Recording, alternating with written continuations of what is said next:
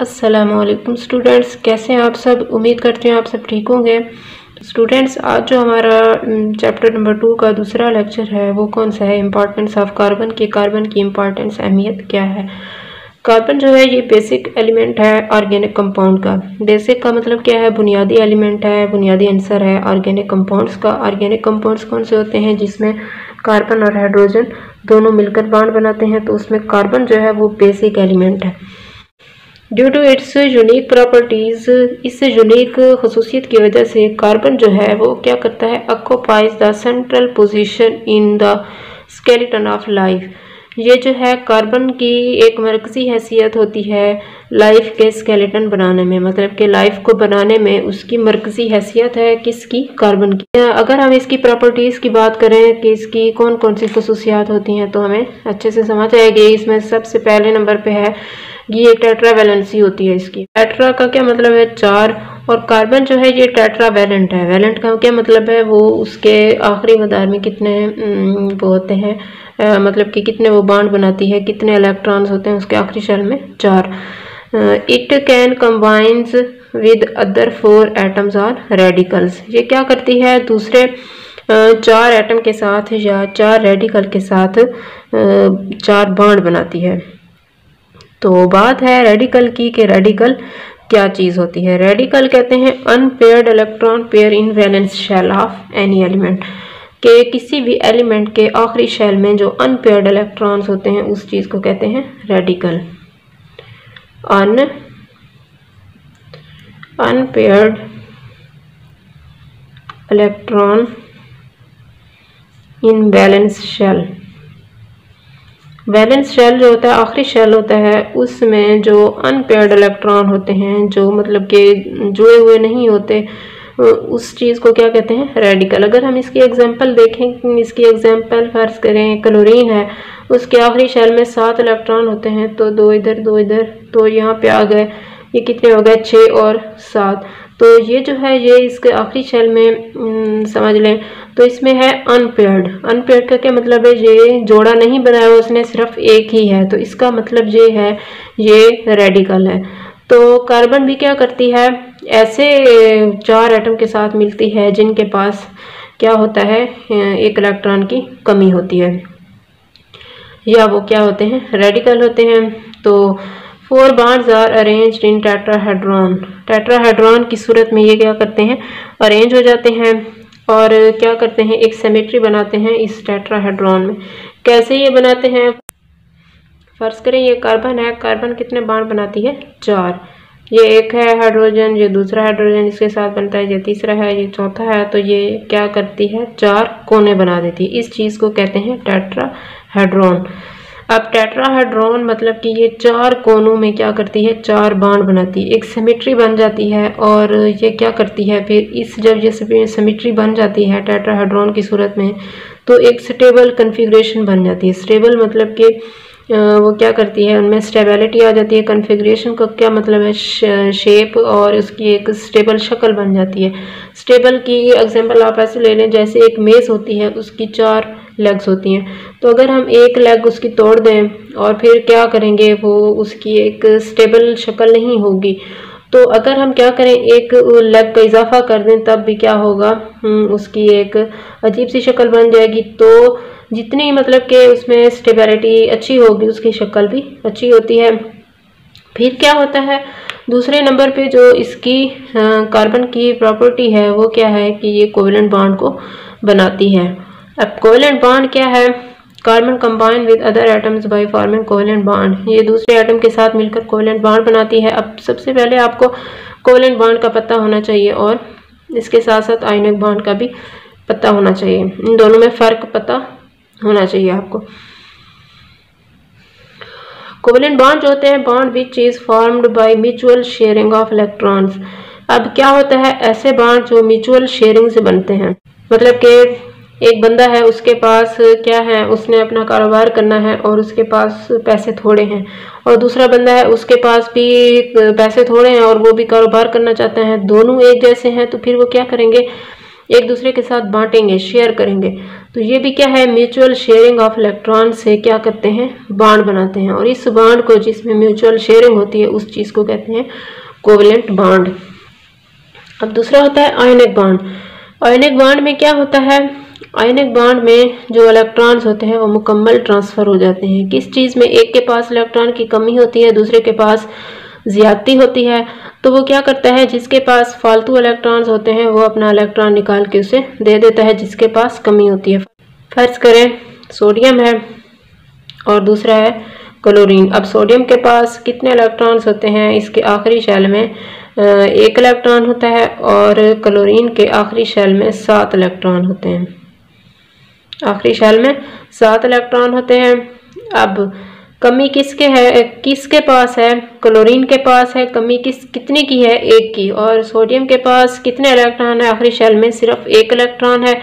और ये क्या करेगा? इसके पास ये जो एक है ये भी अपने आप को स्टेबल बनाना चाहेगा और ये भी स्टेबल। क्योंकि हम्म, जो केमिस्ट्री में होता है वो क्या होता है? जब किसी भी एलिमेंट के आखिरी शेल में आठ इलेक्ट्रॉन पूरे हो जाते हैं तो वो एक ऑक्टेट रूल को फॉलो करता है। ऑक्टेट का क्या मतलब है? आठ इलेक्ट्रॉन उसके आखिरी शेल में जब पूरे हो जाते हैं तो वो एक स्टेबल बन जाता है। अब इसके पास भी आखिरी शेल में एक इलेक्ट्रॉन है, ये सात नहीं ले सकता, क्योंकि जब सात लेना शुरू करेगा तो सात ना तो किसी के पास होंगे, ना ही कोई देगा, और इसे एनर्जी ज़्यादा लगानी पड़ेगी। इस तरीके से ये क्या करेगा? एक जो है, ये खारिज कर देगा। और किसको देगा जिसके पास एक की कमी होगी? अब ये क्या करता है? ये सात इलेक्ट्रॉन देने की बजाय, क्योंकि इसको भी ज़्यादा एनर्जी लग लगेगी, ये क्या करेगा? एक इलेक्ट्रॉन इसे ले लेगा। इस तरीके से यहाँ क्या होता है? एक पूरा इलेक्ट्रॉन मुकम्मल तौर पर ट्रांसफ़र हुआ है। तो कंप्लीट ट्रांसफ़र ऑफ़ इलेक्ट्रॉन को कहते हैं आयनिक बाड क्या कहते हैं?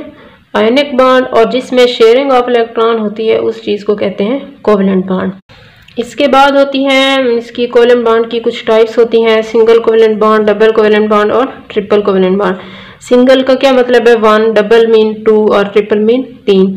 When one electron pair is shared जब क्या करते हैं? सिर्फ़ एक इलेक्ट्रॉन शेयर होता है तो उस चीज़ को कहते हैं, उस बॉन्ड को कहते हैं सिंगल कोवलेंट बॉन्ड जैसा कि हाइड्रोजन है. अब इसमें दो हाइड्रोजन जब मिलते हैं तो इसके पास भी एक इलेक्ट्रॉन है, इसके पास भी एक इलेक्ट्रॉन है. इन्होंने क्या करना है? अपडेट रूल को फॉलो करना है, लेकिन यहाँ पे अपडेट नहीं होगा क्योंकि इनके जो है इलेक्ट्रॉन है, वो सिर्फ़ एक एक है तो ये बाई वैलेंट रूल को फॉलो करेंगे। बाई का मतलब क्या है? दो। तो जब क्या करेगा? ये अपने आप को स्टेबल करना चाहेगा, ये इससे इलेक्ट्रॉन ले लेगा। शेयर क्योंकि ये शेयर कर रहे हैं, दूसरे के साथ बांट रहे हैं। जब ये अपने आप को स्टेबल करना चाहेगा तो ये इससे ले लेगा। इस तरीके से ये जो बांड बनता है, उसको कहते हैं सिंगल और जो डबल होता है, उसमें क्या होता है? डबल मीन टू जब टू इलेक्ट्रॉन पेयर क्या करते हैं? शेयर करते हैं, एक दूसरे के साथ इलेक्ट्रॉन्स को बांटते हैं तो उस चीज़ को कहते हैं डबल कोवलेंट बॉन्ड जब ऑक्सीजन क्या करती है? ऑक्सीजन क्या के शेल में छः इलेक्ट्रॉन होते हैं इसे दो की कमी है। तो दूसरा जो ऑक्सीजन है, उसके पास भी छः इलेक्ट्रॉन है, वो भी क्या करेगा?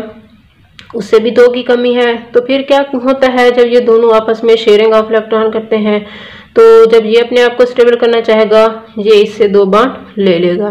कैसे लेगा? ये इस तरीके से।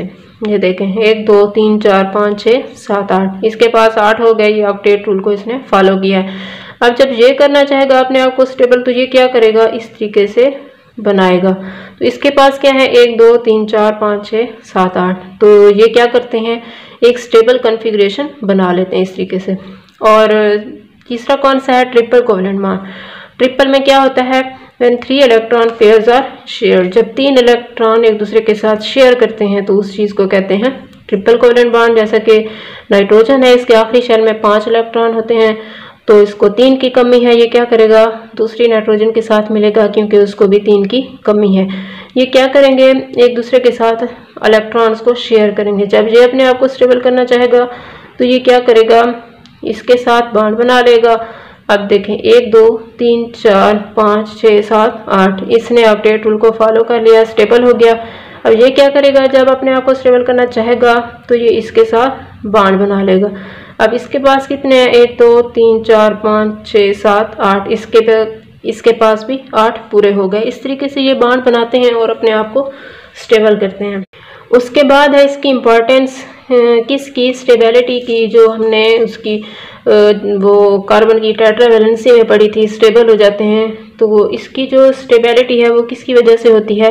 Associated with tetravalency of carbon atom carbon atom में अच्छी उसमें स्टेबिलिटी किसकी वजह से होती है? टेट्रावेलेंसी की वजह से। Make it favourable to form cellular structures अब ये क्या होती है, जब स्टेबिलिटी उसमें ज़्यादा होगी, जो हम क्या करते हैं फ़र्ज़ करें, जो टेबल की एग्जांपल थी, उसमें अगर हम लकड़ी क्या करते हैं, अच्छी नहीं यूज़ करते तो वो जो होती है, उसमें जब ज़्यादा वज़न आएगा या कुछ भी तो वो जो है लकड़ी उसकी ख़राब होना शुरू हो जाएगी और वो मेज़ जो है, वो टेबल जो है, ख़राब हो जाएगी।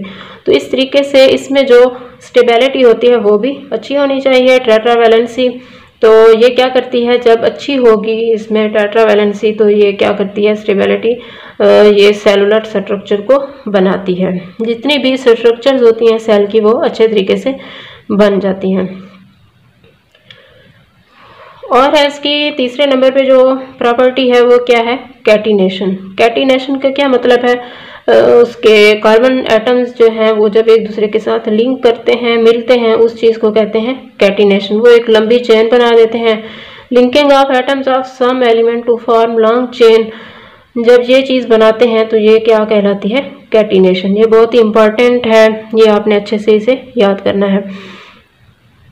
और कार्बन एटम्स क्या करते हैं? जब ये लॉन्ग चेन बनाते हैं combines mutually to form stable ये क्या हो जाते हैं, जब ये तो बड़ी चेन बनाते हैं तो एक स्टेबल तरीके से अरेंज हो जाते हैं। अब जब ये सारे कार्बन आइटम आपस में मिलते हैं तो ये क्या करते हैं, तीन तरह की स्ट्रक्चर को बनाते हैं। स्ट्रेट ब्रांच्ड और तीसरी कौन सी है? रिंग स्ट्रक्चर जो स्ट्रेट है स्ट्रेट का क्या मतलब है? बिल्कुल सीधी चेन बनाएँगे। तो इसमें क्या देखें आप लोग, अगर आप इसमें कार्बन की एग्जांपल लें कि कार्बन कितने बाण बना रही है? चार, एक, ये है, दूसरा ये है, तीसरा ये है, चौथा ये बाण। टोटल कितने बन गए? चार। अगर हम इसकी बात करें कि इसके पास तो दो हाइड्रोजन है, लेकिन फिर चार कैसे बनाती है? तो दो ये कार्बन के साथ बना रही है और दो हाइड्रोजन के साथ। तो इस तरीके से ये चार बाण सारे, चार चार बाण बना रही है और एक लंबी सी चेन बना देती है। इस चेन को कहते हैं सेट्रेट चेन और फिर है रिंग स्ट्रक्चर की अगर हम बात करें रिंग में क्या होती है? एक रिंग बन जाती है, इसमें जे छः नंबर छः कार्बन नंबर हैं। और ये क्या करते हैं? कार्बन एटम के साथ सॉरी हाइड्रोजन एटम के साथ जुड़ेंगे और ये बना देते हैं। चार बांड। चार बांड कैसे बनाते हैं? ये अगर हम सिंगल बांड की बात करें तो फिर तो मसला हो जाएगा। हम इधर दो दो हाइड्रोजन में लगाने पड़ेंगे। फिर हम क्या करते हैं? डबल डबल बांड एक एक छोड़ के लगा देते हैं। अब अगर हम देखें तो इसमें कार्बन कैसे बाण बना रही है? चार। इस कार्बन की बात करें तो एक, दो, तीन, चार। और इसकी बात करें तो एक, दो, तीन, चार। ये भी एक, दो, तीन, चार। एक दो तीन चार ये सारी जो है कार्बन चार चार बाण बना रही हैं ये एक स्टेबल स्ट्रक्चर है। और अगर हम बात करें ब्रांच्ड की ब्रांच का क्या मतलब होता है? शाख। तो जो एक चेन बन रही होगी हम्म, उसमें क्या बन जाएगी? एक शाख बनेगी। मतलब कि एक सीधी चेन बन रही है स्ट्रेट चेन है उसमें एक एक और ब्रांच निकलेगी। अगर ये कार्बन है, ये भी कार्बन है, और ये कार्बन दूसरी कार्बन के साथ ब्रांच बनाती है, ये कार्बन फिर और कार्बन के साथ ब्रांच बनाती है तो ये क्या बनेगी? एक ब्रांच्ड स्ट्रक्चर बन जाएगी। इसमें भी कार्बन के चार बाडी हैं ये सारी जो है स्टेबल स्ट्रक्चर्स हैं। इसमें सब में कार्बन नंबर जो है वो तो छः छः हैं। इसमें भी छः हैं, इसमें भी छः हैं, इसमें भी छः ही हैं लेकिन क्या होता है, फ़र्क सिर्फ़ उसकी हाइड्रोजन आइटम की तरतीब का है।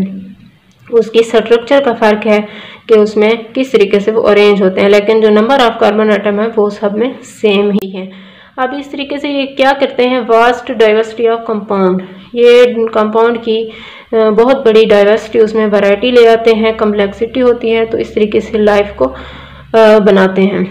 फिर इसकी अगर हम बात करें चौथी चौथी प्रॉपर्टी की, वो क्या है? कार्बन विद अदर्स कार्बन लाजमी नहीं के सिर्फ़ कार्बन कार्बन के साथ बाण बनाती है, वो दूसरे उसके साथ एटम्स के साथ बाण भी बना सकती है। सल्फ़र नाइट्रोजन ऑक्सीजन फास्फोरस और हाइड्रोजन अगर हम बात करें कार्बन हाइड्रोजन की, कि कार्बन जब हाइड्रोजन के साथ बाण बनाती है तो उसमें source of potential energy potential का मतलब होता है अबेलिटी उसमें अबेलिटी ऐसी होती है कि वो क्या करे? एनर्जी बना सकें। एनर्जी का सोर्स होता है। फॉर सेलुलर एक्टिविटीज़ जो सेल के अंदर एक्टिविटीज़ हो रही होती हैं, उसके लिए वो एनर्जी बनाए। कौन? जब कार्बन और हाइड्रोजन बॉन्ड बनाते हैं। दूसरे नंबर पे है कार्बन ऑक्सीजन बॉन्ड इस इस बॉन्ड को कहते हैं ग्लाइकोसिडिक लिंकेज कैसे? अगर ये कार्बन है और इसके साथ ऑक्सीजन बॉन्ड बनाता है, फिर फ़र्ज़ करें कार्बन है। फिर ऑक्सीजन बॉन्ड बनाता है तो इस तरीके से अगर हम यहाँ से बॉन्ड तोड़ दें तो ये एक स्टेबिलिटी नहीं होगी। लेकिन इस लिंकेज में क्या होता है? ऐसे बॉन्ड नहीं टूटता। एक स्टेबल स्ट्रक्चर बनती है।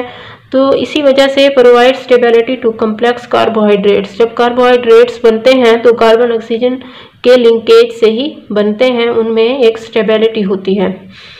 और तीसरे नंबर पे है कार्बन नाइट्रोजन कि कार्बन जो है नाइट्रोजन के साथ भी बाड बनाती है। उस बाड को कहते हैं पेप्टाइड बाड इस बाण में क्या होता है? अमाइनो एसिड बनते हैं। अमाइनो एसिड लिंकेज होते हैं। जब बहुत सारे अमाइनो एसिड आपस में मिलते हैं तो वो बना देते हैं प्रोटीन को।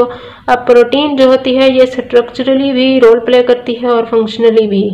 मतलब कि सेल के अंदर जितनी भी स्ट्रक्चर बनती हैं, उसमें भी प्रोटीन का हिस्सा होता है और बहुत से जो सेल की स्ट्रक्चर्स अपने फ़ंक्शंस को परफॉर्म कर रही होती है, उसमें भी प्रोटीन का हिस्सा होता है। इस तरीके से ये सारे जो बॉन्ड हैं, ये क्या करते हैं? अपने अपने रोल प्ले कर रहे हैं। उसके बाद है फॉर्मेशन ऑफ़ ऑर्गेनिक मालिक्यूल्स के ऑर्गेनिक मालिक्यूल्स कितने होते हैं? दो होते हैं मैक्रो मालिक्यूल और माइक्रो अब मैक्रो मालिक्यूल का क्या मतलब है? पिछले उसमें भी आपको थोड़ा बहुत बताया था मैक्रो मीन लार्ज और माइक्रो मीन समाल मैक्रो का क्या मतलब है? बड़े, जिनका मालिकुलर वेट ज़्यादा होता है, जैसा कि सेलोलोज है फैट्स हैं या प्रोटीन्स हैं, ये पानी में इनसालुबल होते हैं। मतलब कि पानी में हल नहीं होते तो इसी वजह से क्या कहते हैं? स्ट्रक्चर ऑफ़ सेल बनाते हैं। सेल की स्ट्रक्चर बनाते हैं। फ़र्ज़ करें, ये सेल है, उसके अंदर न्यूक्लियस है अब न्यूक्लियस के इर्द गिर्द क्या है? साइटोप्लाज्म साइटोप्लाज्म में क्या होता है? सारा पानी होता है। अब पानी में अगर ये न्यूक्लियस की जितनी भी चीज़ें हैं, अगर ये पानी में हल होती तो न्यूक्लियस सारा का सारा उसी में डूब जाता तो फिर कोई भी स्ट्रक्चर ना बन सकती। इसी वजह से ये सारी जो न्यूक्लियस की चीज़ें होती हैं, ये पानी में इंसॉल्युबल होती हैं और अपनी स्टेबिलिटी को कायम रखती हैं। स्टोरेज ऑफ़ स्मॉलर मालिक्यूल्स फिर इसका तीसरा काम क्या है कि ये जो छोटे छोटे मालिक्यूल होते हैं, उनको स्टोर करती हैं और ये जो छोटे मालिक्यूल होते हैं, इनसे हमें एनर्जी मिलती है किसके लिए? जिसम के लिए बॉडी के लिए। और दूसरे नंबर पे है माइक्रो मालिक्यूल माइक्रो मीन समाल तो इसमें क्या आ जाते हैं? अमाइनो एसिड हैं फैटी एसिड्स हैं, ये छोटे मालिक्यूल्स होते हैं। इससे जब छोटे मालिक्यूल्स आपस में मिलते हैं तो कोई बड़ी चीज़ बनाते हैं, इसी वजह से हम कहते हैं कि ये बिल्डिंग ब्लॉक्स हैं। और दूसरे नंबर पे है कि ये सोर्स ऑफ़ एनर्जी है। एनर्जी को प्रोवाइड करते हैं। इसकी बेस्ट एग्जांपल है एटीपी एडिनोसिन ट्राईफास्फेट ये अनस्टेबल होती है। अनस्टेबल क्यों होती है? क्योंकि जब इसकी ज़रूरत होती है तो ये टूट जाती है और हमें क्या देती है? इमीडिएट सोर्स ऑफ़ एनर्जी मतलब कि हमें फ़ौरन एनर्जी मिल जाती है। हमें वेट नहीं करना पड़ता और ये अनस्टेबल की वजह से ये बहुत जल्दी से टूट जाती है और हमें एनर्जी मिलती है। तो यहाँ तक ये लेक्चर कंप्लीट हुआ, उसके बाद आगे हम देखेंगे इम्पॉर्टेंस ऑफ़ वाटर के पानी की अहमियत क्या है। तो यहाँ तक अगर आपको कोई भी इशू है तो आप कमेंट सेक्शन में पूछ सकते हैं। थैंक यू अल्लाह हाफिज़